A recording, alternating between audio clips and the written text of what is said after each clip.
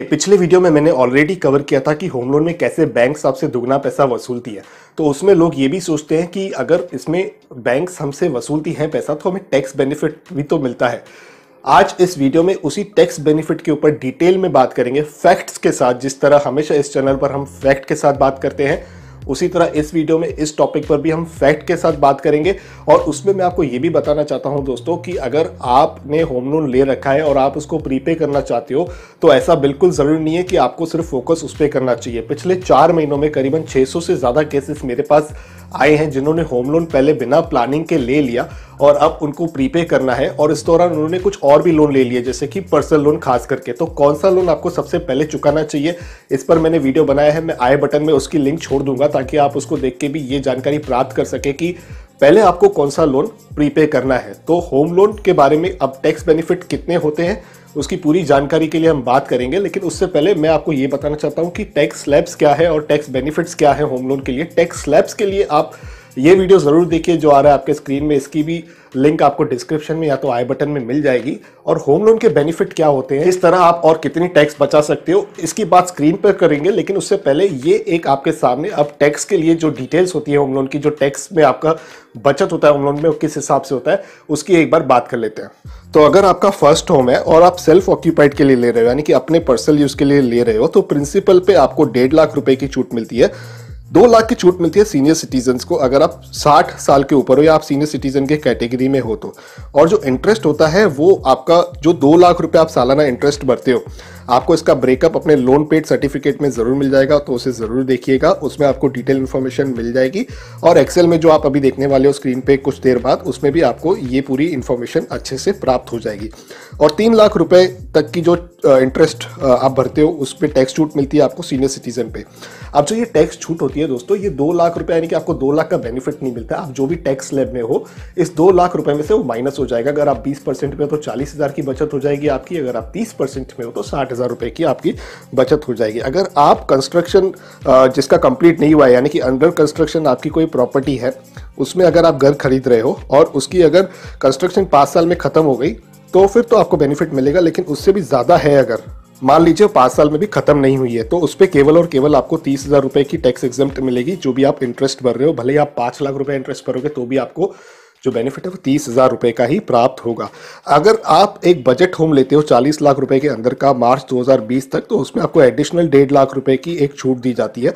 डेढ़ लाख अगेन मैं ये बोल रहा हूँ, डेढ़ लाख आप बचाओगे नहीं, इस डेढ़ लाख रुपए पे आप टैक्स बचा लोगे। तो मान लीजिए अगेन अगर आप बीस परसेंट पे हो तो आप तीस हज़ार रुपया इस पर टैक्स बचा दोगे। अगर आप चालीस लाख रुपए के अंदर का घर ले रहे हो, चालीस लाख रुपये के अंदर का लोन नहीं दोस्तों, यहाँ पर मैं बहुत ही क्लियरली आपको बताना चाहता हूँ कि चालीस लाख रुपये के अंदर का आप घर ले रहे हो तो जो घर की वैल्यू है वो चालीस लाख रुपए के अंदर होनी चाहिए।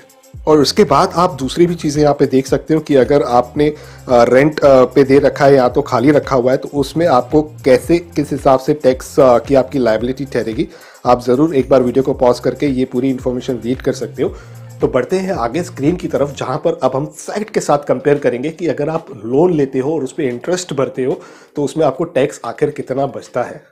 तो ज़्यादातर लोग होम लोन लेते हैं इसीलिए ताकि उनका टैक्स बच पाए, लेकिन रियलिटी क्या है, आज उसको एकदम डिटेल में समझेंगे विद फैक्ट्स एंड फिगर्स तो यहाँ पर मैंने बेसिकली ईयर के कॉलम लिए हुए हैं ओपनिंग बैलेंस यहाँ पर मैंने एज्यूम किया हुआ है कि अगर आप 60 लाख रुपए का होम लोन लेते हो, चाहे आप घर लो, सत्तर, पचहत्तर, कितने का भी, लेकिन अगर आपने होम लोन ले रखा है साठ लाख रुपए का, उस सिनेरियो के हिसाब से मैंने यहाँ पर बनाया हुआ है। तो total yearly E M I मैंने यहाँ पर कैलकुलेट किया और इसमें मैंने रेट ऑफ़ इंटरेस्ट कंसिडर किया हुआ है साढ़े आठ परसेंट का। और इंटरेस्ट पेड ये भी आप ईयरली देख पा रहे हो और इंटरेस्ट पेड प्रिंसिपल पेड भी आप ईयरली देख पाओगे क्लोजिंग बैलेंस भी देख पाओगे। अब यहाँ पर मैटर ये करता है कि आप टैक्स आखिर कितनी बचा सकते हो। तो मैं दो कैटेगरी के लोगों के बारे में बात करने वाला हूँ इस वीडियो में। एक ट्वेंटी परसेंट वाली कैटेगरी और एक थर्टी परसेंट वाली कैटेगरी देखिए फाइव परसेंट वाली कैटेगरी वैसे भी होम लोन नहीं लेना प्रेफर करती है आ, या उनकी एलिजिबिलिटी बहुत कम होती है और ट्वेंटी परसेंट या थर्टी परसेंट टैक्स लेव वाले ज़्यादातर लोग होम लोन लेना प्रेफर करते हैं। तो दोनों केसेस हम कवर करेंगे इस वीडियो के दौरान। तो पहले मैं ट्वेंटी परसेंट को पिक करता हूँ। तो ट्वेंटी परसेंट का अगर हम केस लेते हैं दोस्तों तो पहले साल में आप देख पा रहे हो यहाँ पर जो आप टैक्स सेव कर रहे हो प्रिंसिपल के अंदर वो केवल तेईस हज़ार रुपए ही करोगे। क्योंकि यहाँ पर प्रिंसिपल आपका सिर्फ़ और सिर्फ़ एक लाख उन्नीस हज़ार रुपए जा रहा है। और ये एटीसी के अंडर आता है गाइस तो ये आपको कोई एडिशनल बेनिफिट नहीं देता है। अगर आपका ऑलरेडी एम्प्लॉयर प्रोविडेंट फंड काटता है, वो भी आपका एटीसी में आता है। अगर आपके पीपीएफ अकाउंट चालू है, या तो आप टैक्स सेविंग एफडी में इन्वेस्ट करते हो, किसी भी एटीसी इंस्ट्रूमेंट में अगर आप इन्वेस्ट करते हो तो वो भी कंसिडर उसी में होगा। तो ये कोई एडहॉक नहीं होता है। ये डेढ़ लाख की पूरी आपकी क्लब्ड लिमिट रहती है। और यूजुअली इस कैटेगरी के लोग ऑलरेडी एटीसी में किसी न किसी इन्वेस्टमेंट प्रोडक्ट में इन्वेस्टमेंट स्टार्ट कर चुके होते हैं चाहे एलआईसी हो, चाहे यूलिप हो। तो आपको ये देखना है कि आपको सही में इसका एडवांटेज मिलेगा कि नहीं मिलेगा। तो ये आपको डेफिनेटली कंसिडर करना है जब भी आप रियल इस्टेट में इन्वेस्ट करने की या रियल एस्टेट में फ्लैट को बाय करने का आप कोई भी प्लान कर रहे हो तो कॉस्ट बेनिफिट एनालिसिस में आपको उसको कंसिडर ज़रूर करना पड़ेगा। और अगर आप टैक्स से इंटरेस्ट के ऊपर देखोगे तो वहाँ पर भी केवल आप चालीस हज़ार रुपये टैक्स बचा सकते हो, क्योंकि दो लाख रुपए का अमाउंट एलिजिबल होगा। भले ही पाँच लाख रुपए इंटरेस्ट पे कर रहे हो, लेकिन उसका कोई लेना देना नहीं है, क्योंकि अपर कैप जो है वो दो लाख रुपए की है। अब आप जानते रहोगे, मैंने पिछले वीडियो में भी कवर किया था कि जो इंटरेस्ट होता है, वो आपका पहले बैंक बहुत ज़्यादा लेती है, क्योंकि बैंक का ये बिज़नेस करने का तरीका होता है और धीरे धीरे ये कम होता जाता है और प्रिंसिपल धीरे धीरे आपका बढ़ता जाएगा। अब मान लीजिए आप यहाँ पर दसवें साल में आ जाते हो, जो कि अगर ये बीस साल का लोन है तो यहाँ पर मिड पॉइंट पे आ जाते हैं और यहाँ पर बात करते हैं तो क्या होता है? यहाँ पर आप प्रिंसिपल पे केवल तीस हज़ार रुपये टैक्स बचाओगे। आप देखोगे प्रिंसिपल भले ही आपका ढाई लाख हो गया, लेकिन जैसे मैंने बताया, ये आज के डेट में एटी के अंडर आता है, जिसकी अपर लिमिट डेढ़ लाख रुपये है। तो इरेस्पेक्टिव आप कितना भी प्रिंसिपल भर रहे हो, आपकी जो टैक्स में बचत होने वाली है, वो तीस हज़ार रुपए की होने वाली है।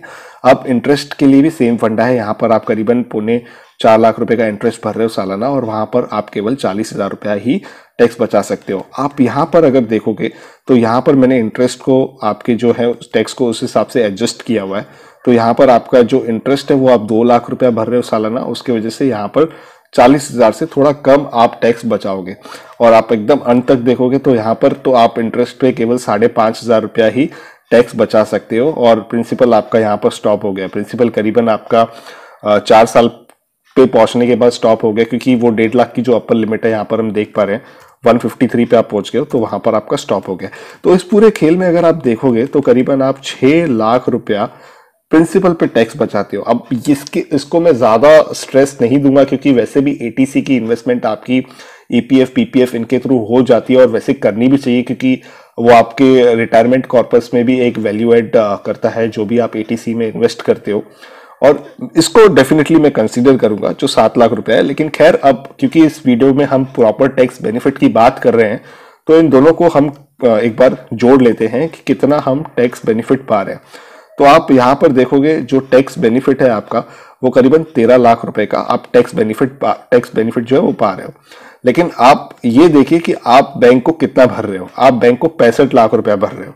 तो पैंसठ लाख रुपया जो आपने बैंक को इंटरेस्ट भरा है, उसमें से अगर इसे माइनस करें, उसके बाद भी दोस्तों आप करीबन बावन लाख रुपया, यानी कि fifty one lakh ninety one thousand two thirty nine rupees minus ही हो। तो ये मत समझिए कि अगर आपने होम लोन ले रखा है तो आप प्रॉफिट में जा रहे हो। तो बढ़ते हैं आगे 30 परसेंट के टैक्स ले वालों के लिए। चलिए, उनका हम देखते हैं। ये बाकी सारी चीज़ें आपकी एकदम सिमिलर रहेंगी, बराबर रहेंगी। ये जो कॉलम है, केवल वो चेंज हो जाएगा क्योंकि वहाँ पर 20 परसेंट है और यहाँ पर 30 परसेंट है। अब इसमें मैंने एजुकेशन सेस को कंसिडर नहीं किया, जो चार परसेंट की होती है दोस्तों, जो फाइनल टैक्स पे आपकी लगती है, लेकिन वो आप मैनुअली भी कैलकुलेट कर सकते हो।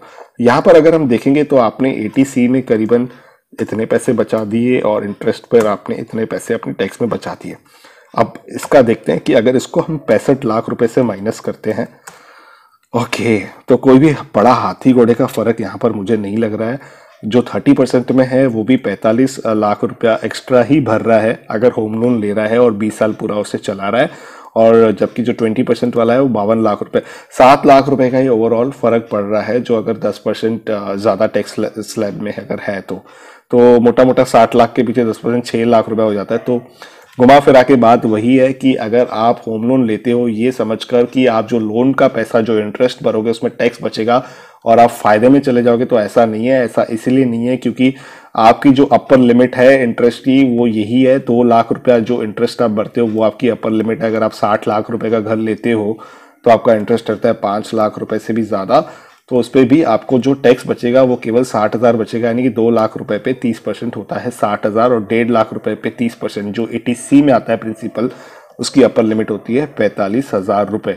उसके ऊपर आपका जो भी रेशो जाएगा, आप देखिए, आप फ़ायदे में नहीं हो कभी भी। तो होम लोन जो लोग ये सोचते हैं कि होम लोन एक फ़ायदे का सौदा है काफ़ी ज़्यादा टैक्स बचती है तो ऐसा कुछ नहीं है दोस्तों। यहाँ पर भी देखिए, तीस परसेंट वाले भी पैंतालीस लाख रुपया एक्स्ट्रा ही अपने जेब से दे के जा रहे हैं और 20 परसेंट वाले बावन लाख रुपया एक्स्ट्रा अपने जेब से देके जा रहे हैं। तो उम्मीद करता हूँ दोस्तों, आपको इस वीडियो से कुछ ना कुछ वैल्यू प्रोवाइड हुई होगी और ये इन्फॉर्मेशन आपको कैसी लगी है, आप मुझे कमेंट के माध्यम से ज़रूर बताइए। वीडियो को लाइक कीजिए अगर आपको वीडियो पसंद आया है। शेयर करके अपने कलीग्स के साथ, दोस्तों के साथ ये जानकारी ज़रूर बांटिए। और अगर आप चैनल पर पहली बार हो तो भैया, मैं इसी तरह के फाइनेंशियल टॉपिक्स सिंप्लीफाई करता रहता हूँ। कोई भी चीज़ आपको अपने चैनल पर बेचता नहीं हूँ। आप सब्सक्राइब ज़रूर कीजिएगा और बेल आइकन को भी दबा दीजिएगा ताकि आने वाले सारे वीडियो का अपडेट्स आप तक आ सके।